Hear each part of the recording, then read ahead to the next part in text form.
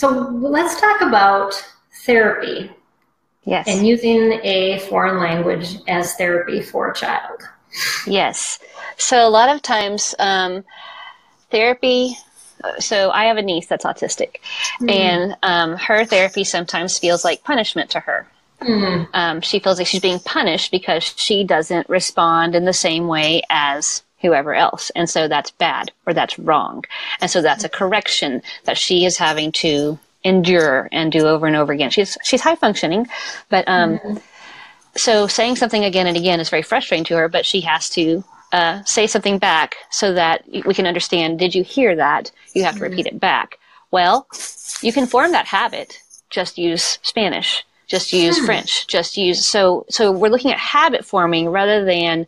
Um, I know I need to, I don't know, put my plate in the sink. I know I need to, whatever it is, um, say it in Spanish. And so then it becomes fun.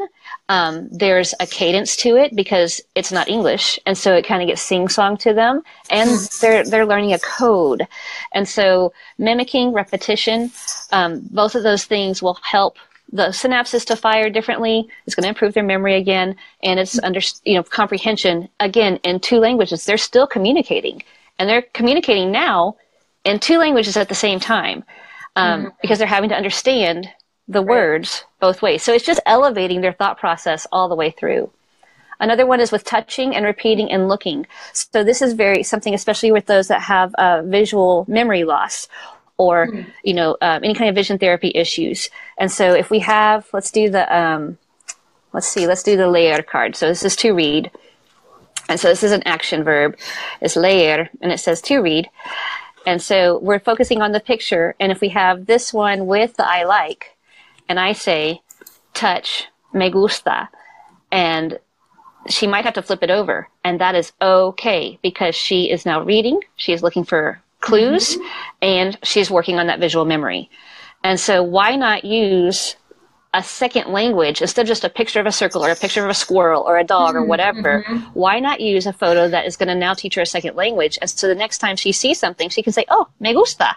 Instead of I like mm-hmm. it, which is nice but repetitive. But she says me gusta she suddenly gets, oh, wow, Kate, you're speaking Spanish. Mm-hmm. Instead of, mm-hmm. yes, we know you like it. Yes, you said you liked it a lot. Mm-hmm. Yes. Mm-hmm. And so it's just, hmm. it just makes everybody um, just respond differently whenever it's a second language rather than just, quote unquote, just English. So it really mm-hmm. changes the feel of the therapy and it gives them something to be proud of. You know, I'm learning a whole nother language. I'm I'm good enough. My brain is just as good as somebody else's.